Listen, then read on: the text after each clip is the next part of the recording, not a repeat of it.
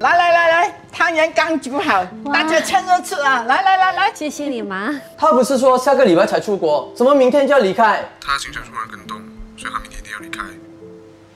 我们现在要回去 KL 赶着见客户，这么赶？我们刚回来没多久而已。对呀，饭菜都煮好了，要不要吃点才走？不吃了，再吃来不及了，走了。我们先走了。这个你拿回去煮啊，方便又快。冬至啊，要吃汤圆才对了。谢谢你啊，妈。来不及了，快走吧。妈，我先走了。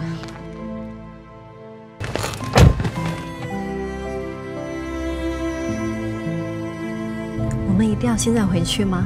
如果我们今天不回去的话，我们几个月来的努力全都白费了。但你已经一年没见你妈了吧？之前封城，我们没有办法回来。难得今天冬至，我们回来跟妈吃饭。可是饭都还没开始吃，你又急着要走了。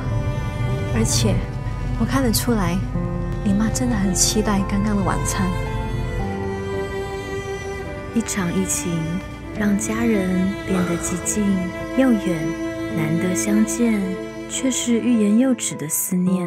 不要让忙碌冲淡了亲情，不要让现实消磨了思念。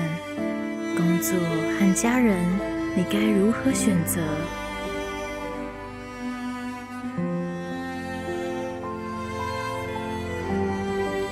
妈，